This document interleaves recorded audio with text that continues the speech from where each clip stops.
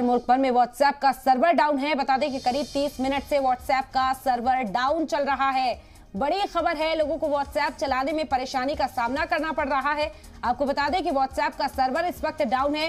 करीब 30 मिनट से व्हाट्सएप का सर्वर मुल्क में डाउन है, जिसकी वजह से कई काम मुतासर है। लोगों को कई तरह की परेशानी का सामना करना पड़ रहा है। और मजीद जानकारी के साथ शोएब रजा जुड़ गए। हमारे साथ शोएब, क्या जानकारी इस हवाले से मिल पा रही है?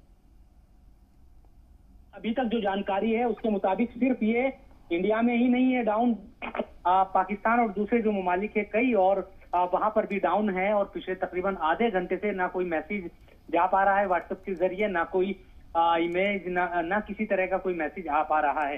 कहा यही जा सकता है हालाँकि ये पहले भी इस तरह की जो बातें हैं वो सामने आई है।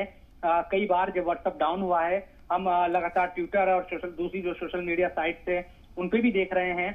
कई पाकिस्तान में भी इस तरह के हालात हैं और दूसरे और ममालिक से भी इस तरह की खबरें हैं। वहाँ पर भी व्हाट्सएप डाउन हो गया है और हमारे मुल्क में पिछले तकरीबन 30 मिनट से लगातार हम देख रहे हैं कि कोई मैसेज नहीं जा पा रहा है।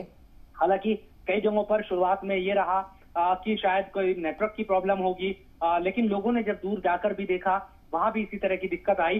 उसके बाद ट्विटर पर हमने देखा कि चर्चा होने लगी कि क्या व्हाट्सएप डाउन है और पिछले तकरीबन आधे घंटे से किसी तरह का भी हालाँकि व्हाट्सएप की तरफ़ से कंपनी की तरफ़ से कोई इस, इसको लेकर कोई क्लैरिटी नहीं दी गई है कि वजह क्या है तो किस तरह क्या प्रॉब्लम आई है।